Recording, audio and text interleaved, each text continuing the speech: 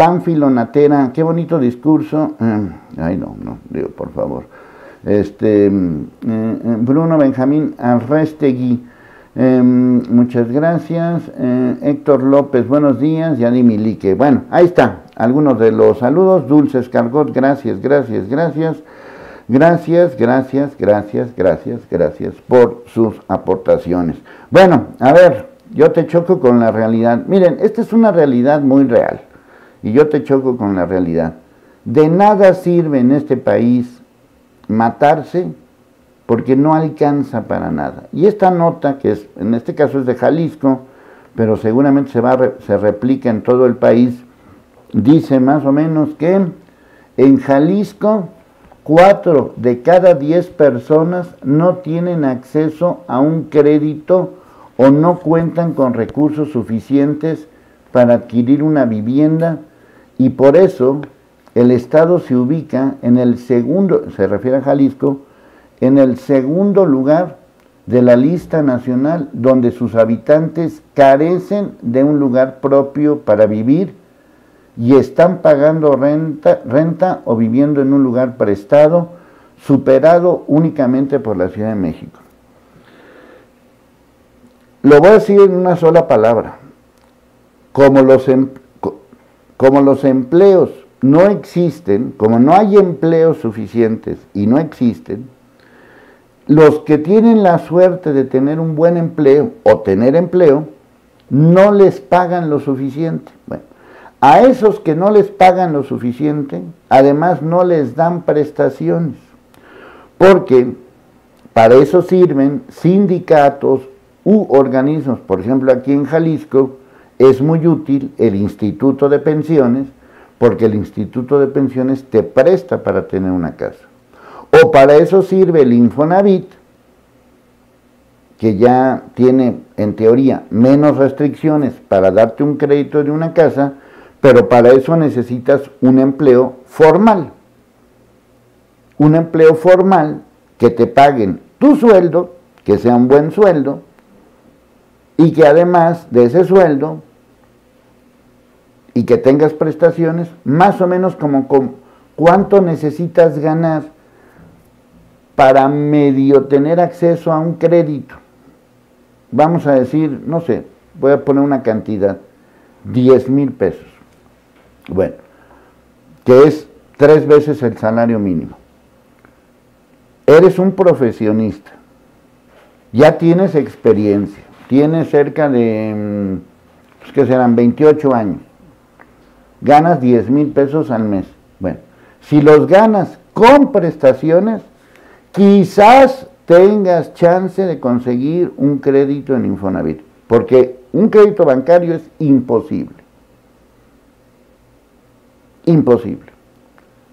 A menos de que trabajes en el gobierno y pues, te presten en el gobierno. Yo hablo de una persona normal en México que gana 10 mil pesos, con prestaciones no le alcanza para tener una vivienda, no una casota al estilo Lozoya o al estilo Bartlett o al estilo Irmeréndira Sandoval, una casa, bueno, un departamentito para que me entiendan.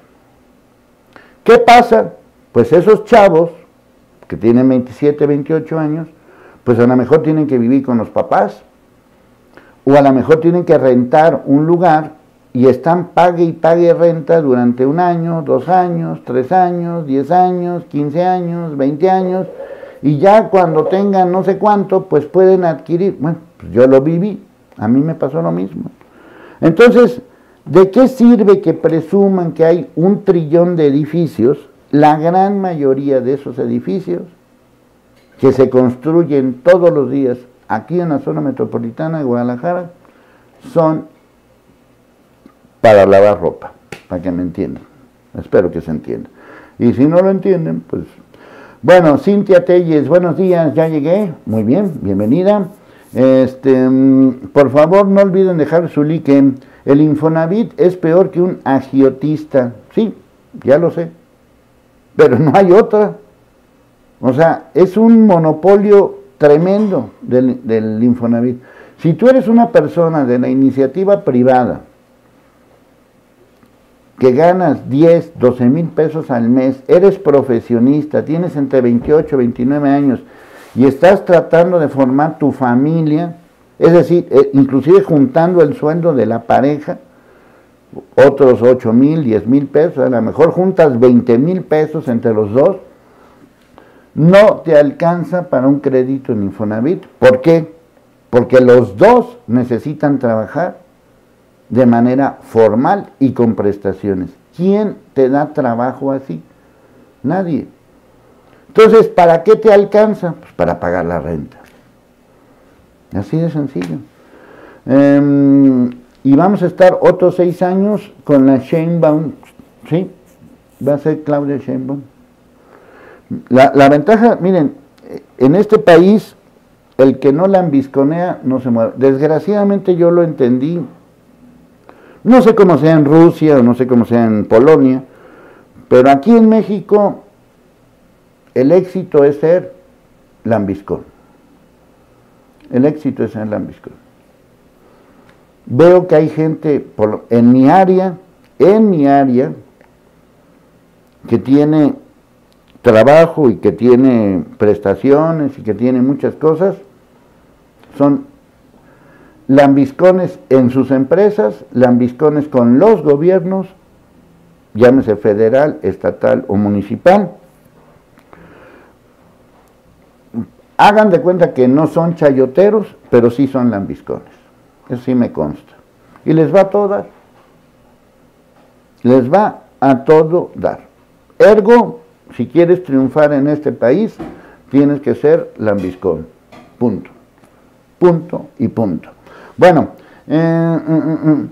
¿qué opina de la carta que escribió el pastor López al presidente de Estados Unidos? Solo él se la cree, el presidente se burla sembrando vida en las propuestas. Miren, el problema no es que el problema no es la carta, el problema es que no funciona ni en México. Yo estoy de acuerdo de que haya una opción para los, sobre todo para los jóvenes y para los grandes, que no sea nada más recibir dinero.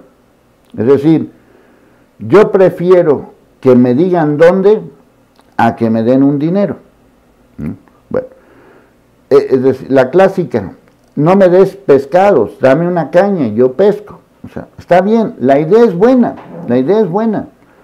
Bueno, efectivamente sembrando vida, estoy hablando de la idea, puede ser una idea muy buena. O sea, yo te doy los ¿cómo se llama? Los instrumentos para que tú puedas sembrar vida y que pues con ese dinero puedas tú tener un ingreso. ¿Sí? Nada más que hay un pequeño problema. Para que esto funcione como creen que funcione, tienen que pasar muchísimos años, tienes que tener tantitos conocimientos de lo que significa sembrar X cosa, y tener una estructura de trabajo en torno a eso. Bueno, eso es lo que está fallando. Entonces, si ese sistema no ha funcionado en México, ¿por qué tiene que funcionar en Honduras? ayer les comenté que en el mundo, en el mundo, la zona de conflicto más peligrosa del mundo era Michoacán. Bueno, ahora se las confirmo. Michoacán, Chiapas, vean la bronca que hay con el EZLN ahorita, y Chiapas, ahí donde vive López Obrador, ahí donde tiene su casita, ahí donde quiere hacer su mugre tren. Bueno, vean lo que dice el EZLN. Y, este, y Guanajuato. Vean lo que pasó ayer en Salamanca.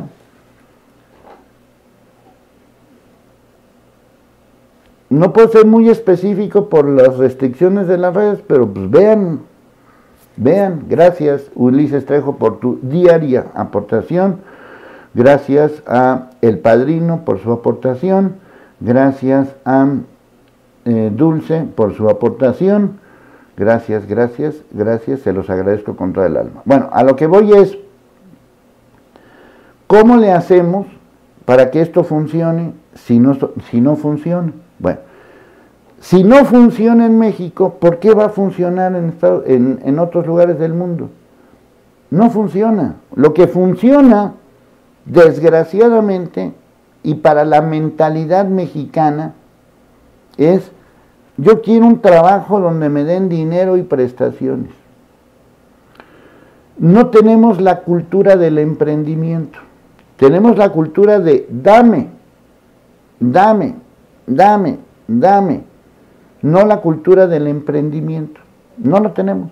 Entonces, cuando te tienes que enfrentar a una situación así, pues no tienes los conocimientos, como yo, yo estoy hablando de mí, no estoy hablando de otras personas.